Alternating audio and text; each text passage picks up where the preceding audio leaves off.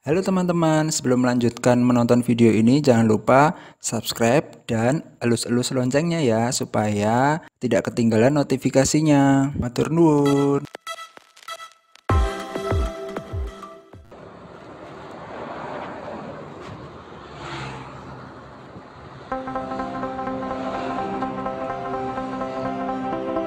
Halo assalamualaikum teman-teman Jumpa kembali di channel Anto Wahyu Atmojo Oke teman-teman kali ini masih pagi sekali ya Kira-kira pukul 5.30 Nah itu lampu-lampu kendaraannya masih pada nyala. Oke kali ini saya meruput sekali pengen jalan-jalan nih menuju ke bendungan yang sangat ikonik sekali di daerah Kulon Progo. Nah, bendungan tersebut itu tadinya eh, ada jembatannya, jembatannya itu biasa terus terbawa oleh banjir Sungai Progo begitu. Terus eh, kira-kira di tahun 2009 itu sudah direnovasi dan di sebelahnya itu ada taman dan kemudian diresmikan pula oleh Bapak Presiden Jokowi gitu. Nah, nama bendungannya adalah Bendungan Kamijoro. Bagi teman-teman yang ada di Jogja sudah tidak asing lagi ya dengan bendungan tersebut. Oke, gimana perjalanan saya? Ikuti penelusuran saya kali ini.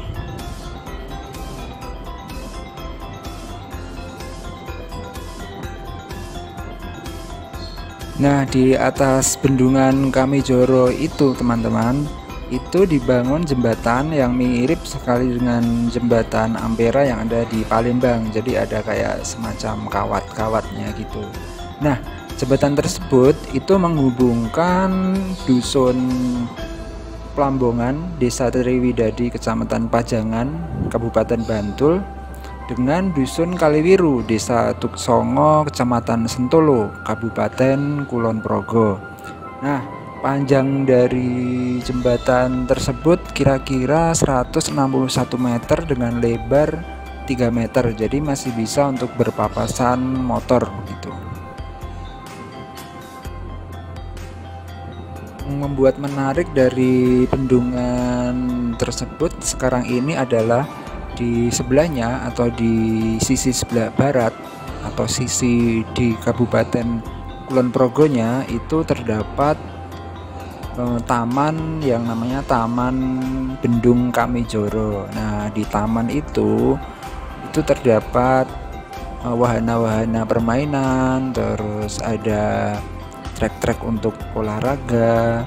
Nah, jadi banyak atau area tersebut bisa digunakan untuk uh, olahraga di pagi hari atau sore hari.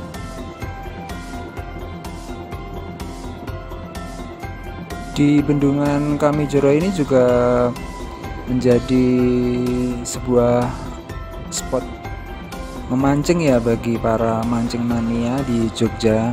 Eh, banyak sekali para pemancing yang datang ke sini untuk mencari peruntungan yang memperoleh ikan.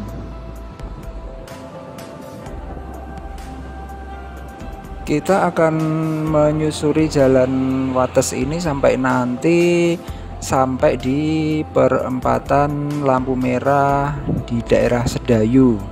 Nah, di perempatan Sedayu tersebut eh, nanti kita akan belok ke kiri atau ke arah Bantul.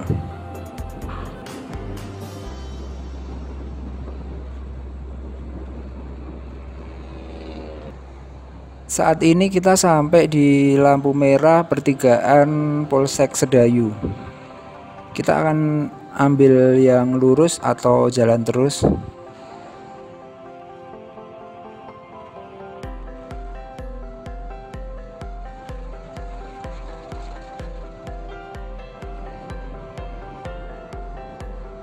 Nah, di depan itu sudah nampak perempatan Sedayu atau di daerah Argorejo Sedayu kita akan belok ke arah kiri yang ke arah ke Bantul atau masuk ke jalan Argorejo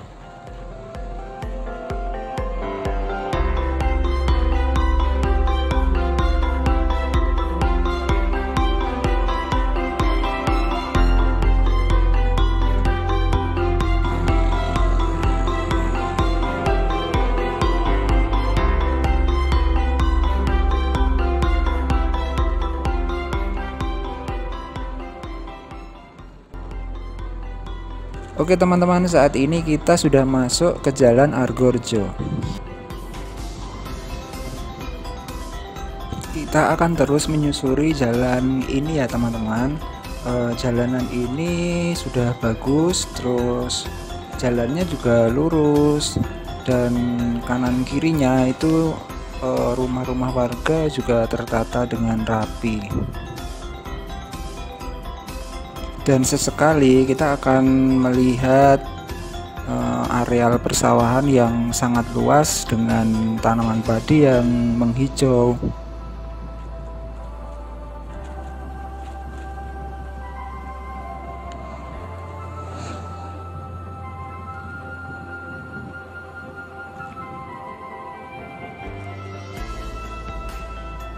Nah teman-teman saat ini kita sudah sampai di wilayah desa Argodadi Kecamatan Sedayu Kabupaten Bantul.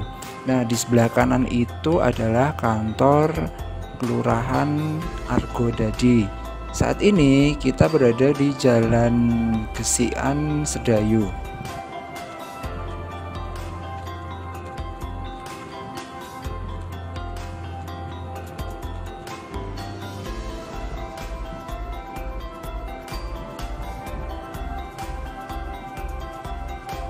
kita sudah sampai di pasar Sungapan.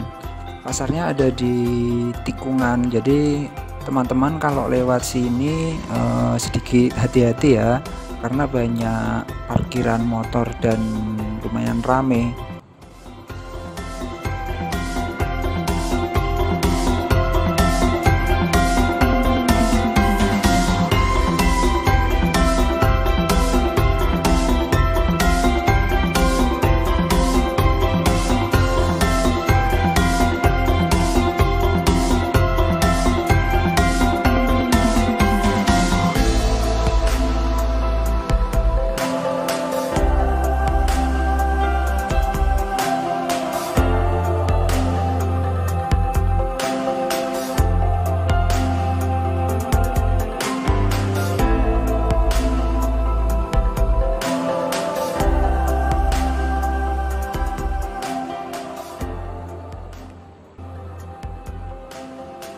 Nah, kita sampai di lapangan Triwidadi.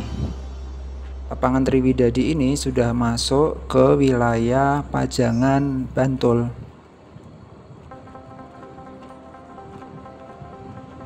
Saat ini kita masih menyusuri jalan Gesian Sedayu ya. Nah, di depan itu ada pertigaan.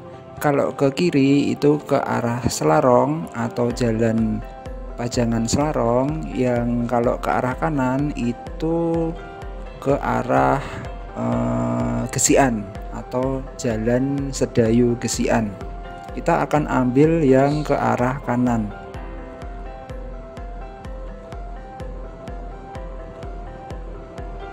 Oke teman-teman kita sudah hampir mendekati jalan masuk menuju ke Bendungan Kamijoro nanti kita akan berbelok ke kanan uh, di situ ada jalan kecil. Jadi teman-teman harus hati-hati apabila sudah berada di area ini supaya tidak kelewatan.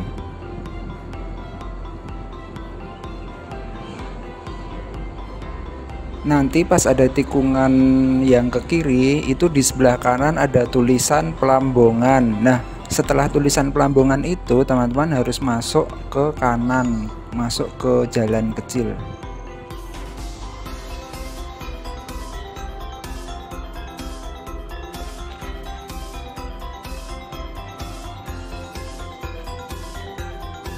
Setelah itu kita tinggal mengikuti jalanan kampung berupa cor atau beton ini ya teman-teman.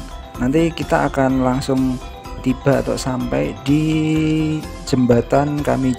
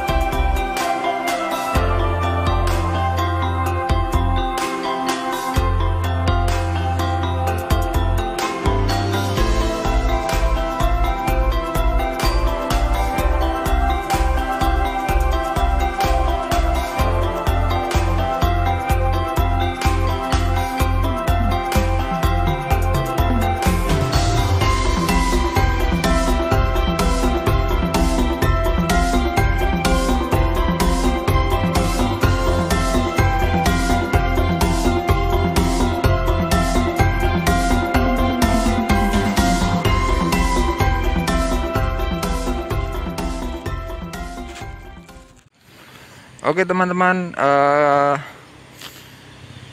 kali ini saya sudah sampai di Bendungan Kami Joro. Jadi bendungan ini menghubungkan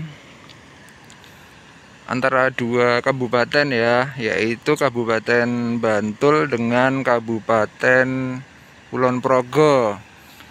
Jadi ini Sungai Progo atau Kali Progo ini saya sampai sini pukul 6 ya meruput sekali. Pukul 6 uh, eh, saya pengen lihat sunrise nya dari sana ini mataharinya dari arah timur. Tapi kayaknya tertutup kabut gitu. Ini jadi uh, bendungan kami Joro ini uh, sekarang sudah ada fasilitas taman ya jadi taman kami Joro nah taman kami Joronya itu ada di sana. Taman kami Joronya itu ada di sebelah sana ya yang ada uh, payungnya itu. Bendungan ini baru saja diresmikan oleh Presiden Joko Widodo itu akhir 2009 ya akhir 2009 bentuknya itu mirip jembatan Ampera ya. Mirip jembatan Ampera. Nah eh, jembatan kalau menurut info ya eh, untuk panjang jembatan ini 161 meter dan lebarnya itu 3 meter. Jadi masih bisa buat papasan motor. Masih lancar.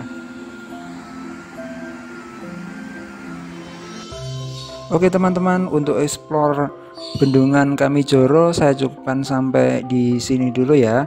Uh, sebetulnya masih ada yang kurang sih karena saya belum explore di area taman kami Joronya karena saya datang masih pukul 6 sampai jam setengah 7 begitu jadi kawasan tamannya masih tutup dan tidak bisa dimasukin motor untuk parkirnya. Jadi saya harus parkir di pinggir jalan kemudian tamannya itu masih agak jauh. Oke demikian dulu uh, perjalanan saya. Terima kasih buat teman-teman yang sudah bersedia menonton dari awal tadi sampai sekarang. Saya akan melanjutkan ke destinasi selanjutnya. Uh, sampai jumpa lagi di video saya yang lain. Bye bye